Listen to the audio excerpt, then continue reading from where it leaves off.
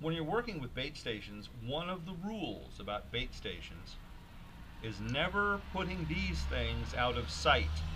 Because when you do that, you run into the danger of something biting you or sticking you, and then there's other problems you don't want to deal with. With the Easy Clean stations, the EZ Secure stations from VM Products, you simply take the key, insert, and push down. When you do that, you now have a handle to lift the lid of the station up. Therefore, you never have to put your fingers at, or hands out of sight.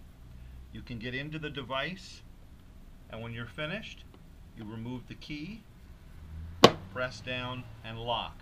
But once again, put the key in, push, turn, lift, and it becomes the handle for the lid. Far safer for all the pest control technicians we have out there running routes across the world on a daily basis.